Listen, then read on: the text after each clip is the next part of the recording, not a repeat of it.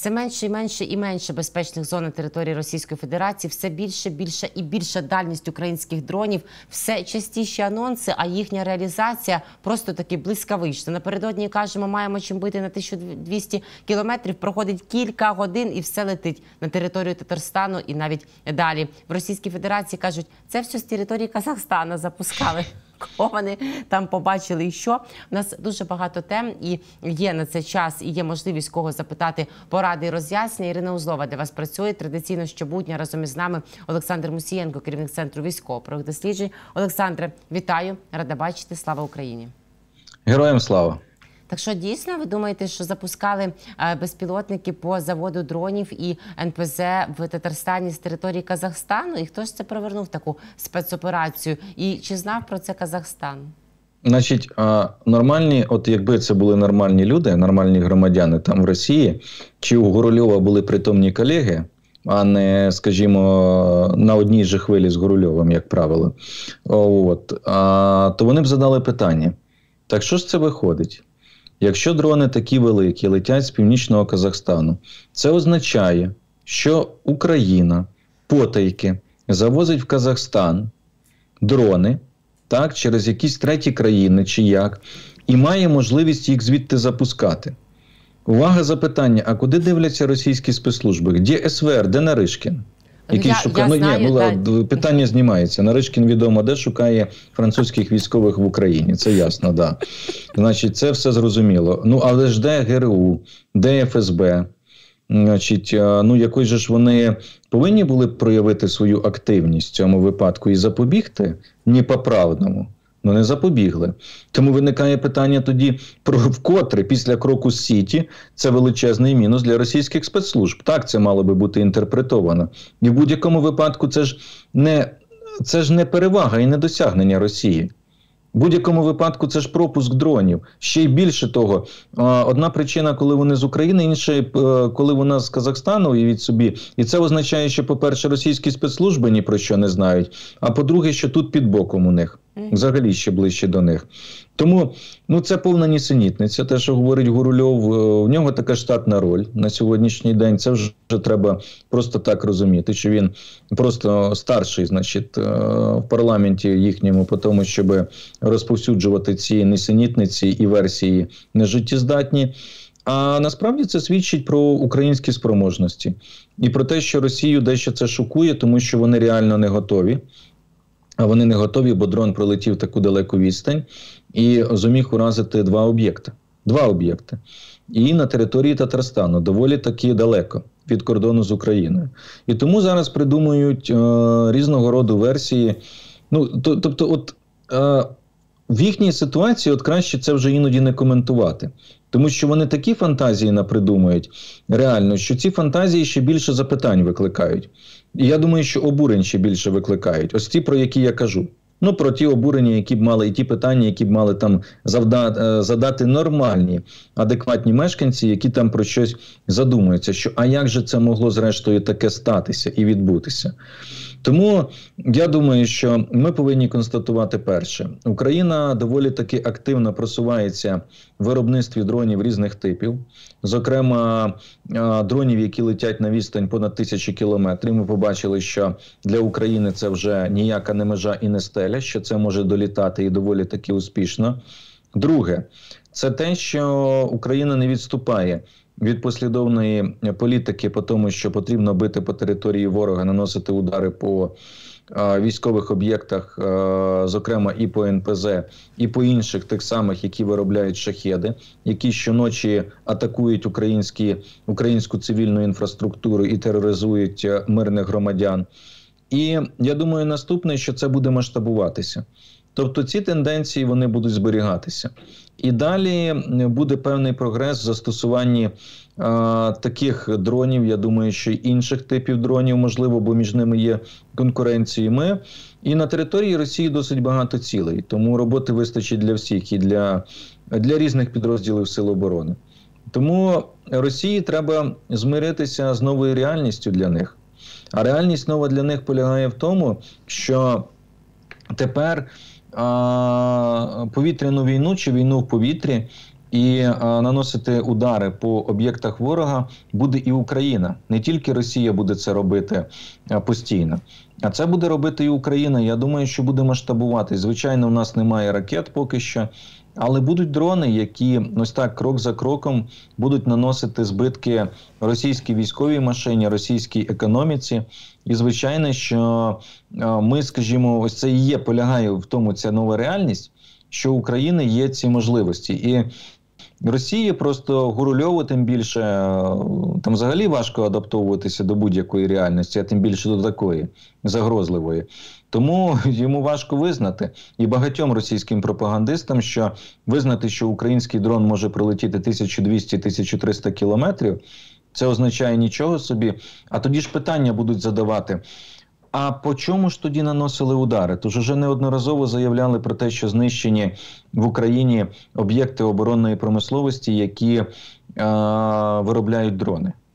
Так по чому ж тоді що ж тоді знищували? Чи знищували на папері?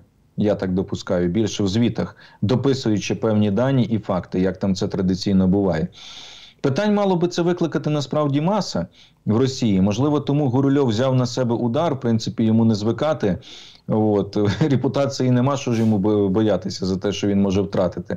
Як він взяв на себе удар, значить висунути першу версію і сказати, що це було з Казахстану. А а от був епізод, пам'ятаєте, по Ленінградській області. Угу. А прилітав. А так сказали, звідки з Естонії? Так, так, так, так. З Естонії, значить. Ну, ну наступний раз, наступний раз, я думаю, прилетить десь далеко на півночі, скажуть Норвегія.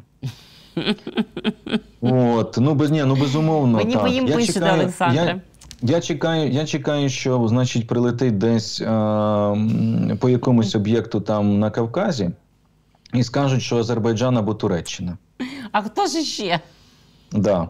От я вже чекаю прямо. Угу.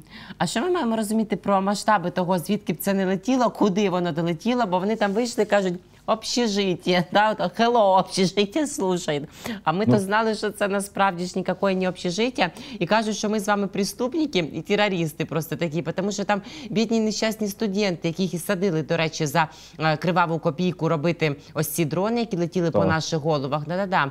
Тобто всі там причетні до машини кремлівської воєнної.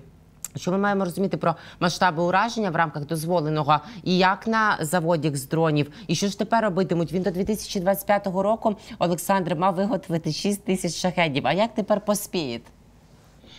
Ну, да, плани були дуже амбітні. Це ясно теж домальовано. Не треба вірити цій статистиці. Я зразу закликаю. Що стосується загалом, то все підприємство, яке є е, військово-промисловим комплексом, заводом країни, яка здійснює військову агресію, це є приводом для самозахисту відповідно до статуту ООН. Тобто, це є військовою ціллю. І так, там можуть перебувати люди, це зрозуміло, там може хтось перебувати, але вони повинні усвідомлювати, що вони виготовляють зброю, і ці якої потім е знищуються мирні ні в чому невинні громадяни. І вони зробили свій вибір. Свідомо, несвідомо, змусили їх. Вони зробили свій вибір. Вони стали на цю стежку війни. Це люди, які обрали стежку війни. Загнала їх Росія там в рабство чи ще щось відбулось. Тобто, це ось е, треба розуміти, і е, це зменшення виробничих потужностей, як би там не було е, підприємства. Звичайно, я сподіваюся, що в ході наступних атак вдасться вразити і безпосередньо, ну скажімо так, всі склади і цехи, які відповідальні і за виробничі потужності, тобто все знищити. Я допускаю, що такі атаки ми побачимо і в майбутньому. А якщо вони будуть перебазовувати це і переносити кудись в інше місце виробництва, безумовно, це призупинить це виробництво. Це теж на користь, тому що це сповільнить виробництво шахедів. Але за ним буде вестися, я думаю, пильне спостереження для того, аби знову ж таки е, потім знайти, побачити і вражати в інших точках. Тобто, це це, це абсолютно зрозуміло. Сам факт, що вже е, ну дуже ж багато було запитань. І люди питали: а чому Україна не знищує виробництво шахедів? Чому Україна не знищує виробництво інших видів зброї і так далі? Ну, от, будь ласка, я сьогодні, до речі, побачив, ви знаєте, деякі коментарі. Мовляв, чи не зарано радіти? Ще ж багато, Росія запускає більше. Значить, а, а куди попали, а ще не вивели з ладу повністю. Ну так, не вивели повністю з ладу. Але чому не підтримувати а, і не порадіти успіху? Адже це дуже важливо. Це ж не означає, що це була одиночна акція. Будуть в майбутньому. Навпаки, треба підтримувати, заохочувати і підтримувати людей, які, по-перше, ці дрони роблять. По-друге, тих, хто їх застосовує. Тому що, е, ну слухайте, е, я розумію, що нам всім хочеться, аби одразу 100 тисяч дронів полетіло на територію Росії і вдарило по всіх їхніх об'єктах і все знищило. Мені б теж це хотілося побачити. Але ну давайте визнаємо, це це хотілося би, а є дещо інші реалії. І в міру можливостей і розвитку наших спроможностей Україна працює, і такі заходи треба вітати і підтримувати. Однозначно, просто таки, і ми ж самі. І по-перше, ми ніколи не будемо анонсувати, що і в якій кількості, куди полетить. Бо я вже теж, Олександр, з самого ранку чую ще враховуючи атаки, які ми бачили напередодні, там чи вибухи, да підриви теж були в е, Підмосков'ї не тільки. І я постійно чую від деяких і наших, не будемо там конкретизувати експертів, що ну да, да, прилетіло раз, прилетіло два, прилетіло 9-10, да, по нафтопереробних заводах, ніби це один, вивівши з ладу 14% на нафтопереробної галузі щонайменше. А сьогодні ще й оцей додався, де теж установку з нафтопереробки якраз виведено з ладу. Ми б'ємо ем, і нерідка, і метка при цьому, як то кажуть. А от якби це було е, тенденцією, якби це було більш масово, якби це було регулярно. Ну, по-перше, встаньте і виробляйте, тож ніхто не заважає, да, в принципі, долучитися або закликайте наших західних партнерів, або гроші шукайте на це. Виробництво. А по-друге, це і так масово. Хіба ми рік тому з вами сиділи б тут і обговорювали в такій, в такому масштабі такі прильоти? Не не пригадую такого. Ну, тобто треба розуміти, що змінюється ситуація, змінюються умови. Я про це говорив неодноразово. Що якщо раніше Україна реагувала виключно реактивно, тобто застосовувала засоби ППО і збивала все, що Росія запускає, то а, зараз змінилися умови, і Україна так само теж наносить удари. І відповідно, а, ну скажімо, ми стали дещо сильніше в цьому, і це дає нам додаткові можливості. Звичайно, так. А, ну, у нас немає ще такої кількості. Ми не можемо. Ми не маємо ракет, це зрозуміло стратегічної авіації. Але принаймні, ось на такому рівні це досить важливо і. В будь-якому разі це наносить суттєві збитки а, російській промисловості, російській, російським НПЗ зменшує надходження до бюджетів. Більше того, про це мало говорять, але я звертаю на це завжди увагу. Справа в тому, що продукти нафтопереробки вони використовуються в хімічній промисловості. А хімічна промисловість це те, що все пов'язано з вибухотехнікою. Це підривники, це снаряди, це боєприпаси, це ракети. І це теж проблеми, які можуть виникати в майбутньому і в ВПК російському. Тобто, це доволі таки комплексна історія. І Вона буде продовжуватися, вона буде поступово набирати а, обертів. А, Треба розуміти, що якщо ми не наносимо удари зараз там по 200-300 дронів на добу по території Росії, це не означає, що цього ніхто хтось не хоче робити. Ні хочуть. Просто певною мірою наносяться такі і стільки ударів, скільки ми зараз здатні, які в нас є спроможності, які в нас є можливості, наскільки проаналізована ситуація, проведена розвідка, пророблені ці маршрути, і зрозуміло, що атаки будуть успішними. От і все. А воно все поступово буде збільшуватися. Головне, тренди закладені, тенденції, прецеденти створені, і система є певна. Ми ж бачимо системність по в ударах по НПЗ. Це системність. Так. І от я думаю, що ця системність вона теж важлива і це буде продовжуватись. А Андрій Картаполов, такий є е, дуже геніальний очільник в лапках е, комітету Держдуми Російської Федерації з питань оборони, називаються ті, які на всіх нападають. То е, його поспитали: а як би зробити так, щоб безпілотники не літали вже до Татарстану і далі? І він відповів що в принципі, коли Київ візьмуть, то не будуть літати безпілотники. Я вже навіть не буду згадувати, що я тут згадувала, що брали росіяни за весь цей час, 11 рік війни, бо як уже і не культурно. Але е, він, коли таке говорить, це на яких дурачків розраховано? Слухайте, ну е, зрозумійте так, потрібно щось говорити. От ну, е, цим заявам це насправді, він, це справляється. Насправді цим заявам не треба приділяти дуже багато уваги, з якої точки зору? З точки зору пошуку якихось сенсів, змісту. Ні, їх там нема. Просто треба щось говорити, просто треба заповнювати ефір, просто треба mm. щось коментувати, чимось виділитися. І тому е, робляться заяви. Вони ж і плюс ці заяви для чого вони робляться завжди? Вони робляться для того, щоб відводити фокус уваги від важливих речей. От насправді розумієте, нормальні люди, громадяни, вони б мали задавати ті питання, які ми вже задали і пройшли по Гурульову, правильно? Про те, а як же так виходить, що з Казахстаном Україна на такому рівні співробітництва, що й дрони звідти запускають такі ще й великі, і це непомітно для російських спецслужб, які це все прогавили. Це, мабуть, перший момент. Так другий момент, про який можна говорити, це те, що а де ж, наприклад, що із виконанням доручення Путіна про те, що панцирі і Росгвардія мають прикривати НПЗ? А, так, було, було. І казали, mm -hmm. що і на території Ленобласті, значить, це це буде. Пам'ятаєте? А де де? А тому, що підприємство звітували, що поставили, а насправді тільки отам, як ви кажете, завжди Олександре, на папірчику. А так от, так от, власне кажучи, так от ці мали бути запитання задані. А що з виконанням доручення? А чого ж знову по НПЗ прилітає? Ну що, саботаж виходить? Чи відверто треба розписатись в неспроможності і в тому, що війна проти України вимагає присутності ресурсів, сили засобів ППО Росії на окупованих територіях, і вони не можуть прикривати решту території Росії? Ну таким чином треба тоді зізнаватися. І оце мало би бути питання. Але тут виходить Гурульов, Картополов, хто завгодно і починає. Да це все не важливо, все у нас хорошо. А от там, от коли ми, значить, візьмемо Київ, ми візьмемо Харків, ми підемо на Львів, ми ще кудись підемо, от тоді все буде добре. Ну, от, власне кажучи, саме на це спрямовані ці заяви. Отак їх треба сприймати. Вони відволікають людей від тих питань, які б там мали би реально задавати. А тут уже і плюс зараз же ж треба відповідати. Там же ж е, історична реакція так званих воєнкорів, пропагандістів. Соловйов буде кричати, всі решта. Ну їх треба заткнути, давши їм ось ці такі, значить, ідеї про Казахстан, про ще щось, е, якусь теорію змови намалювати. Я практично не сумніваюся, що.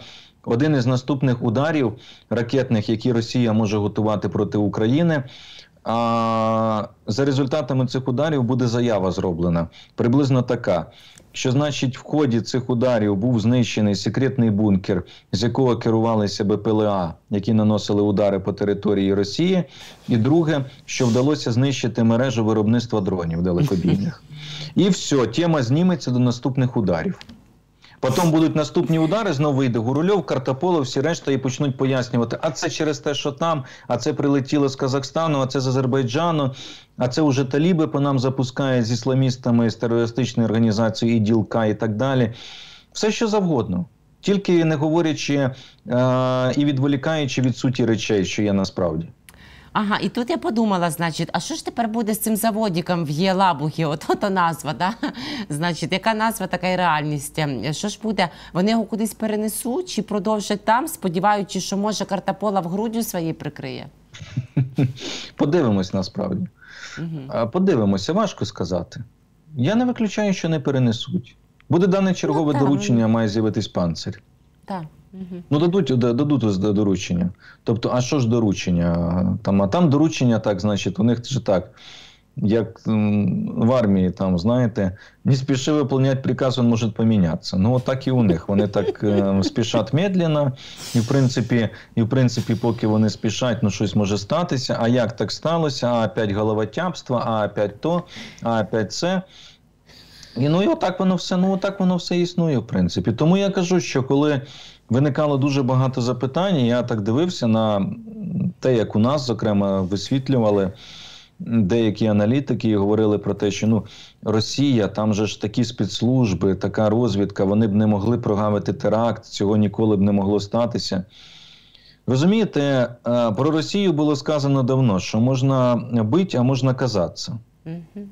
Так. Ну так от, от, власне кажучи, тому все, що це поширюється, про те, що в них там сильно, в них там цього багато, вони спроможні, у них там ППО, у них розвід можливості, в них багато чого.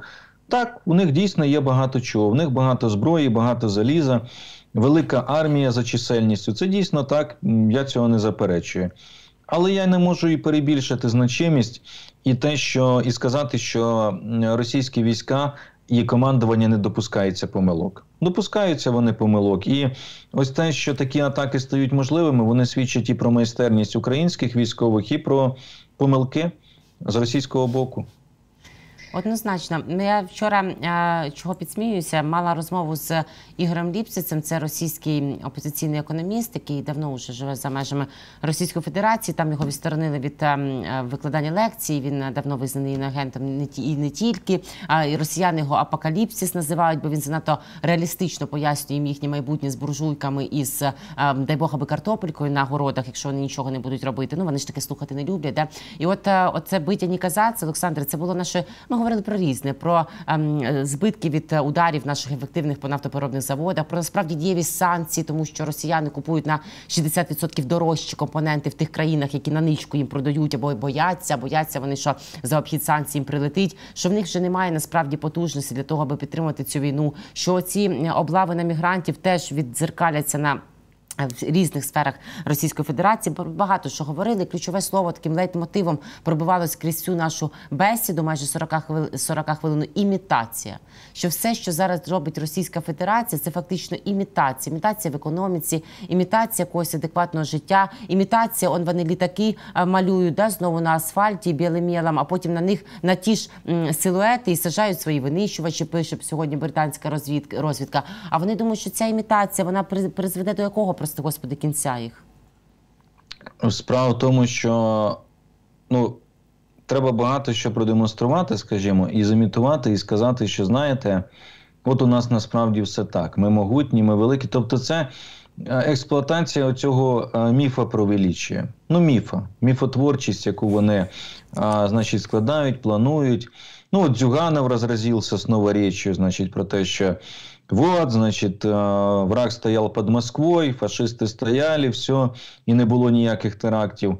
Ну, я просто хочу нагадати е, Зюганову, що нехай піде розкаже в Казані, там, де Талібан запросили на конференцію. Терорист терористів, нехай він розкаже, хто провокує, хто підтримує теракти і так далі. Тому багато в чому просто треба розуміти, що концепт цієї державності, який закладений Путіним, тому вигляді, в якому він є, він втрачає свою життєспроможність і життєздатність. І просто він, оцей концепт, він е, розпадається поступово на друзки. І це, ну, це простежується в багатьох аспектах. Воно не може бути вічно так. Воно рано чи пізно почне сипатись. І на цьому зруйнованому концепті або переродиться щось, і буде інша держава, або інші держави на території сучасної Росії, або воно просто приречено на таку стагнацію, і як наслідок взагалі припинення існування в тих чи інших державних формах утворення. От і все. Ну тому тут мені здається, що сама сама концеп, концепція зараз існування держави, вона ось така. І вона багато в чому дійсно. Ну от циркони можна згадувати, скільки ми обговорювали. Те ж саме заявили тактико-технічні характеристики, які не відповідають, наприклад, так, тому що є насправді, і багато чого іншого. І ці Потьомкінські деревні це так склалося історично. І тому розумієте. Путін же ж е, він думає, що Росія.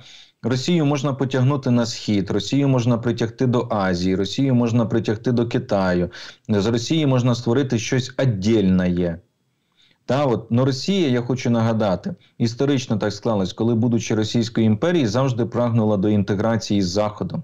Вона завжди прагнула розвиватися все ж таки схожим чином, як це робилося на Заході. Звичайно, там зі своїми там перекосами це все було безумовно, з утисками, як, як імперія.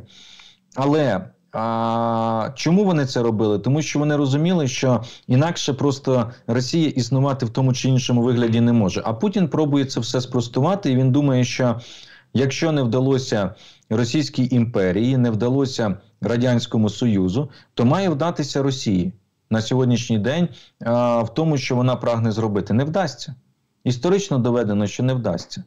І тому багато в чому доводиться прибігати до імітації думаючи, що таким чином вдасться надурити, обманути, якщо не Україну, то обманути Захід. Це ж теж, ну тобто, вони ж теж працюють на це, вони працюють на пропаганду, на картинку, на психологічний вплив, на залякування. Ну, от, власне кажучи, і це використовують.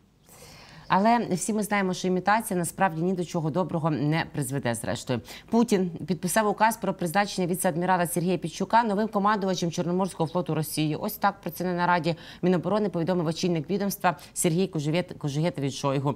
По перше, де подівся попередній Вітя Соколов? Да? Ми ж давно його так і не бачили. Ще в лютому російські телеграм-помики заявляли про відставку його е, Соколова, значить, цієї посади після знищення Кунікова, котрий Цезар, значить. І ось тепер дійсно стало відомо, що Сережа Пінчук замінить. Вони сподіваються, що їм ото 65% флоту завдяки Пінчуку вдасться зберегти, чи що? А, Насправді, знову ж таки, це намагання, скажімо, коли потрібно проводити заміну чогось, от повністю, так намагання обмежитися.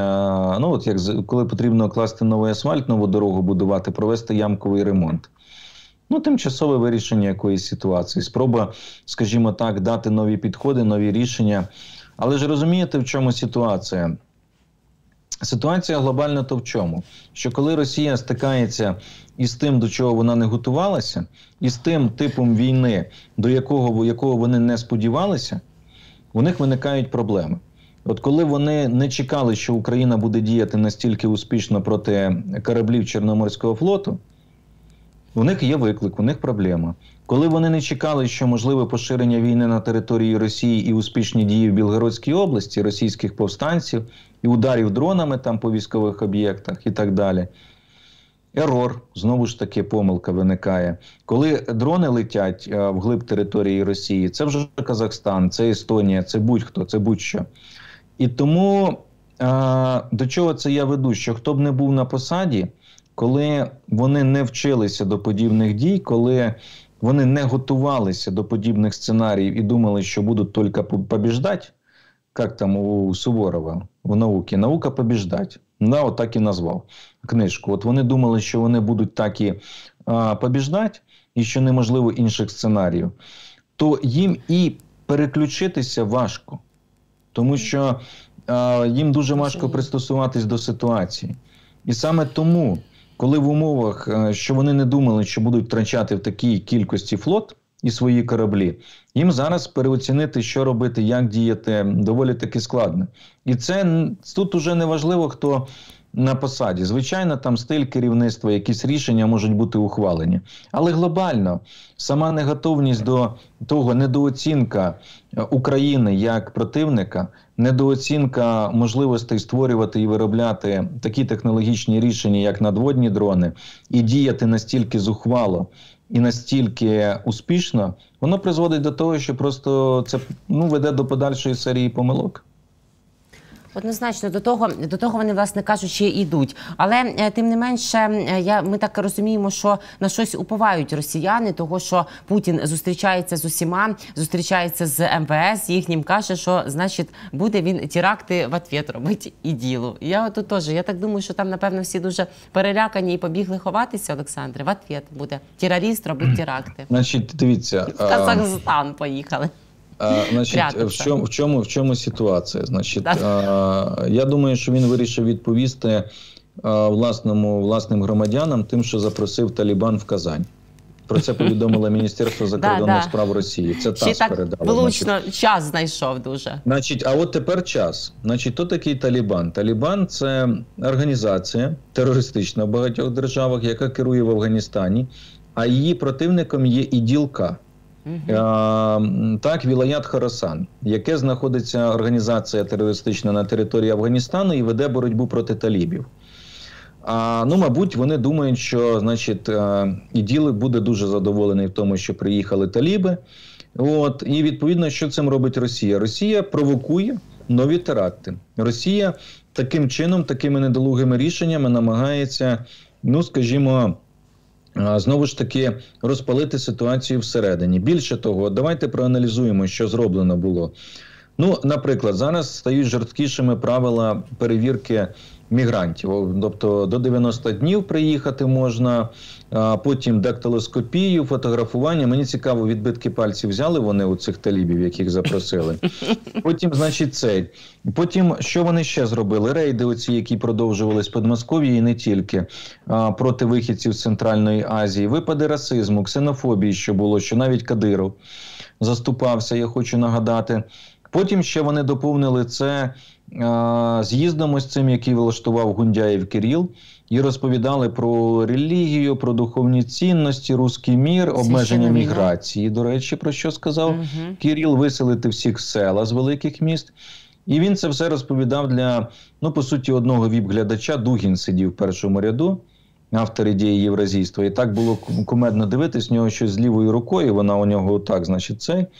Ну, щось сталося, чогось травмовано, і він отак аплодував, значить, по плечі. Він не міг, значить, е, руками, то він отак проявляв захват свій. От, щось таке, до речі, дуже схоже, е, значить, як отут віддавати, значить, потім, е, знаєте, як зігували. От нацисти, так і так, так і в нього щось дуже схоже відбувалося. Ну і от е, дуже багато речей вони зробили для того, щоб підігріти міжнаціональні і міжрелігійні ворожнечі. Тому їм би думати, як воно що у них буде відбуватися всередині. Хто їм і як зараз отомстить, тому що ситуація доволі таки напруженою залишається. Однозначно, але ну будуть боротися. До речі, а оце боротьба з мігрантами і незрозумілі їхні дії, рухи, кого звинувачувати, кого захищати. Вони не можуть обернутися проти них же самих, бо там уже змішались люди коні, здається, в одне. Та безумовно, ну воно обернеться, тому що воно не може інакше мати реакцію. Воно так воно така і буде. Тому і Кадиров виступив. Тому і Кадиров сказав, а як же це можна робити? Тому я думаю, що так. Це недолуга політика, яка не враховує факторів того, що е, числень, е, чис, е, число мусульман зростає в Росії. І, в принципі, е, ну, скажімо так, достатньо 10-15% е, із цих людей, які будуть поділяти якусь терористичне, терористичне спрямування екстремістську ідеологію, і вони здатні, ну, скажімо так, діяти доволі серйозно і спричинити серйозні проблеми Росії. Це недолуга політика, абсолютно. Олександре, хай оця недолуга їхня політика і призведе їх до е, того, е, щоб вони опинилися, розвалилися і один одного і пожерли. Ми будемо задоволеними за цим всім, ну як би то не звучало, але так спостерігати. Бо вони ж е, спостерігають і радіють, коли вбивають нас і посилають свої оті шахеди з Татарстану, не тільки на наші голови. Дякую дуже за сьогоднішню розмову. Добре, що ми відкрили цей тиждень. Хай у вівторок, але вже вибачайте, друзі. Так є. Зате кожен день будемо бачитися на цьому ж місці. Олександре, дякую вам за роботу, позицію і за ваш час. До завтра. Дякую, до завтра. Олександр Мусієнко, керівник центру військово-правих досліджень. А з ним була я, Ірина Узлова. Традиційно, друзі. Підписуйтеся, будь ласка, на Ютуб Олександра. Дуже легко знайти його в описі під цим відео. Активне буде посилання на Ютуб Західнету, а також на Ютуб 24-го. Не пожалкуйте. Цікаві гості, цікаві інтерв'ю. Олександра цікава його аналітика без таких зайвих елементів, як я. Бережіть себе, приходьте до нас знову. Побачимось.